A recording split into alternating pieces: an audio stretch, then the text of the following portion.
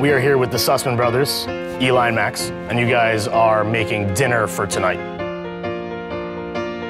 We're doing like a really nice wintry dinner, but it's not gonna be too heavy. The main entree is gonna be sea trout. This guy right here. Yeah, We caught this yesterday. Okay.